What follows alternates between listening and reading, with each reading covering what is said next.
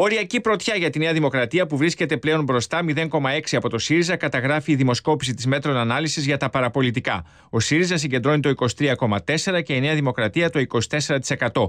Η Χρυσή Αυγή στο 5,1, το Ποτάμι στο 4,8, στο 5,2 το ΚΚΕ, εκτός Βουλής οι ανεξάρτητοι Έλληνες με 2%, το Πασόκ στο 4%, στο 4% και το κόμμα του Βασίλη Λεβέντη, ενώ η λαϊκή ενότητα του Παναγιώτη Λαφαζάνη στο 3,4. Οι αναποφάσιστοι τέλος φτάνουν στο 11,3%. Σε σχέση με τη δημοσκόπηση της περασμένης εβδομάδας, ο ΣΥΡΙΖΑ έχει ανέβει 1,2% και από 22,2% πήγε στο 23,4%, όμως αυτό δεν ήταν αρκετό για να τον κρατήσει στην πρώτη θέση, αφού η Νέα Δημοκρατία είχε αύξηση 2,8% και έτσι από το 21,2% πήγε στο 24%.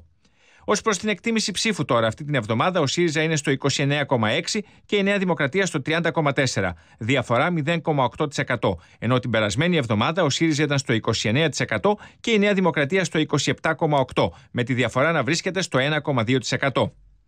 Με βάση τη σημερινή δημοσκόπηση ως προς την εκτίμηση εδρών, η Νέα Δημοκρατία κερδίζει 131 έδρες, ο ΣΥΡΙΖΑ 79, 17 η Χρυσή Αυγή, 16 το Ποτάμι, 17 το ΚΚΕ, 14 το Πασόκ, 14 η Ένωση Κεντρών και 12 το κόμμα του Παναγιώτη Λαφαζάνη.